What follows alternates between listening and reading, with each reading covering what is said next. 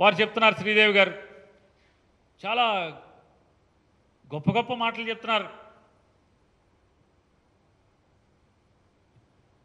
వారు చెప్తారు నన్ను వాడుకుని నేను ఎమ్మెల్యేగా గెలిస్తే సంవత్సరంన్నర ముందే నీకు టికెట్ లేదమ్మా అని చెప్పి చెప్పేశారు నాకు. ఇది అవమానం కాదా అని మాట్లాడుతున్నారు. మీదే అవమానం అయితే రెండు వేల పద్నాలుగులో మీరు అవమానంగా భావిస్తుంటే రెండు వేల పద్నాలుగులో పార్టీ అభ్యర్థిగా పోటీ చేసినటువంటి శ్రీమతి క్రిస్టినా గారు రెండు వేల పద్నాలుగు నుంచి పంతొమ్మిది దాకా పద్దెనిమిది డిసెంబర్ దాకా తాటికొండ పదవి బాధ్యతలు చూసినటువంటి శ్రీమతి కృష్ణ గారు కొత్త అభ్యర్థి అయితే బాగుంటుంది అని చెప్పి పార్టీ కార్యకర్తలందరూ చెప్పిన దాని మీద పార్టీకి టికెట్ కావాలని వచ్చినటువంటి మీకు ఒక డాక్టర్ కొత్త అభ్యర్థి డాక్టర్ చదువుకుని వచ్చారు. కొత్త అభ్యర్థిని పెడితే బాగుంటుందని కార్యకర్తలు చెప్పిన దాని మీదట కృష్ణ గారిని పిలిచి అమ్మ శ్రీదేవి గారికి అవకాశం ఇద్దాం.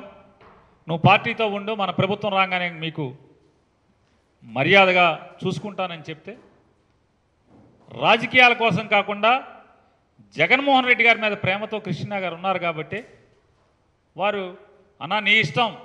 మనం రావాలి నువ్వు ముఖ్యమంత్రి అవ్వాలి మన ప్రభుత్వం రావాలి అని చెప్పి అది నికార్సైనటువంటి జగన్ అంటే ప్రేమ అంటే. ఇవాళ ఆవిడెవరు ఆ కృష్ణ గారు ఎవరు? మీకు సహకరించారు మిమ్మల్ని గెలిపించారు మీకు గెలుపు దోహదపడ్డారు. ఇవాళ గుంటూరు జిల్లా పరిషత్ చైర్పర్సన్గా మర్యాదపూర్వకమైనటువంటి పదవిలో ఉన్నారా లేదా? మీకు కూడా అదే చెప్పారు కదా మా ప్రజల్లో మీరు బలహీనపడ్డారు. కార్యకర్తలు మీ పట్ల ఇబ్బందిగా ఫీల్ అవుతున్నా అని చెప్తున్నారు. కాబట్టి కొత్త అభ్యర్థిని పెడదాం. మీరు పార్టీని నమ్ముకుని ఉండండి. తప్పకుండా మిమ్మల్ని గౌరవంగా చూసుకుంటుంది పార్టీ అని చెప్తే. ఏ మీరు ఏనాడు పార్టీకి పనిచేయకుండా జెండా మోయకుండా ఎన్నికల ముందు వస్తే మీకు టికెట్ ఇచ్చినప్పుడు అప్పుడు మీకు అనిపించలేదా? అయ్యో పాప కృష్ణా గారు అని అనలేదే? నాకు వద్దండి కృష్ణా గారికి టికెట్ ఇవ్వండి అని అనాలి కదా? స్వార్థం.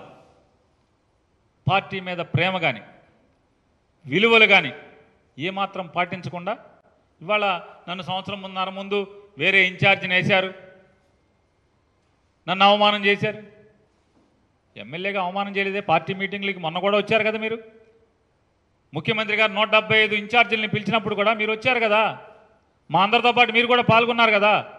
పార్టీ ఎక్కడ వదిలింది మిమ్మల్ని? కార్యకర్తల్లో ప్రజల్లో కొంచెం బలహీనపడ్డారు కాబట్టి కొత్త అభ్యర్థిని పెడదామని చెప్పని నిజాయితీగా చెప్పాడు జగన్మోహన్ రెడ్డి గారు. చివరిదాకా చంద్రబాబు లాగా మోసం చేసి చివరి క్షణంలో నామినేషన్ రోజు అయిపోతున్నప్పుడు కూడా మిమ్మల్ని చెప్పకుండా బయట కూర్చోబెట్టి ఆఫీస్ బయట ఇదిగో పిలుస్తాం పిలుస్తాం పిలుస్తాం అని చెప్పని ఇంకొకళ్ళు బీఫార్మ్ ఇస్తే సమ్మగా ఉంటుందా మనకి? ఇది చంద్రబాబు తరహా రాజకీయం. ఇటువంటి ఏదైనా దమ్ముగా చేసేటువంటి ఇది రాజకీయ నాయకుడు అంటే విశ్వాసం విశ్వసనీయత నిజాయితీతో కూడినటువంటి రాజకీయ లక్షణాలు ఉన్నటువంటి వాడు జగన్మోహన్ రెడ్డి గారు కాబట్టి ఇవాళ ఈ రకమైనటువంటి నిజాయితీగా మీకు నేను ఇవ్వలేకపోతున్నాను టికెట్ అని మీకు ముందే చెప్పగలుగుతున్నారు ఈరోజు రోజు అంతకుముందు కూడా చెప్పారు కదా ఎంతమందికి చెప్పలేదు? పెద్ద పెద్ద కుటుంబాల నుంచి వచ్చిన వారికి కూడా రెండు వేల పంతొమ్మిదికి ముందు పద్దెనిమిదిలో పంతొమ్మిదిలో పదిహేడులో అన్నా మీకు టికెట్ ఇవ్వలేను. తమ్ముడు మీకు టికెట్ ఇవ్వలేను. ఈ పరిస్థితిలో ఇవ్వలేకపోతున్నాను. మనం మనం చెప్పిన రీతిలో మీరు తిరగపోవటం వల్ల ప్రజల్లో మీ గ్రాఫ్ పెరగపోవటం వల్ల మీకు ఇవ్వలేకపోతున్నాను మీరు పార్టీతో ఉండండి అని చెప్పని పార్టీని నమ్ముకుని జగన్ నమ్ముకుని ఉన్న వారందరికీ కూడా మర్యాదపూర్వకమైనటువంటి బాధ్యతలు అప్పచెప్పిన పరిస్థితి వాస్తవా కాదా? ఇవాళ వారు మాట్లాడతారు. ఏమంటారు? క్రాస్ ఓటింగ్ ఆరోపణపై ఈసీ వద్దకు వెళ్తా. మాట ఓట్లేసే బల్ల కింద కెమెరాలు పెట్టారా? ఎవడన్నా మనిషిని పెట్టారా? పైనుంచి చూశాడా? ఇవన్నీ మహనీయులందరూ కూడా ప్రశ్నిస్తున్నారు. ఈ గొప్ప వాళ్ళందరూ కూడా. నేను ఒకటే అడుగుతున్నా ఎవరికో మీరు సమాధానం చెప్పక్కర్లా?